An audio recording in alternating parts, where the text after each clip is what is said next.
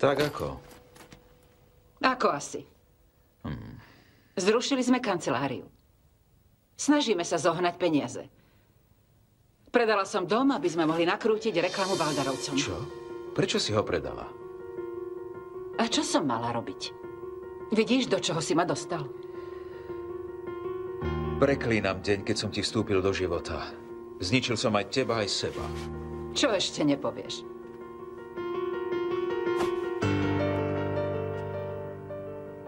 Prečo si ešte stále pri mne, Seugi? Sama neviem. Celý deň som sedel doma. Rozmýšľal som, že sa obesím. Mala by si odo mňa pokoj. Som slaboch.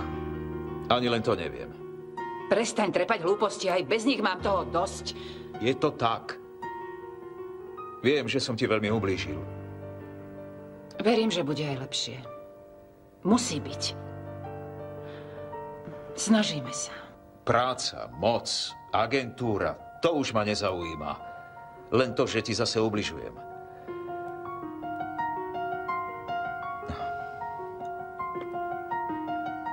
Uvedomil som si, že nie je nič vzácnejšie ako tvoja láska, Sevky.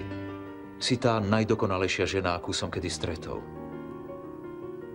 Pochopil som to veľmi neskoro. Nezačínaj, Bora.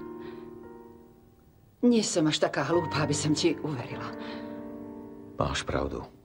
Prečo by si mala?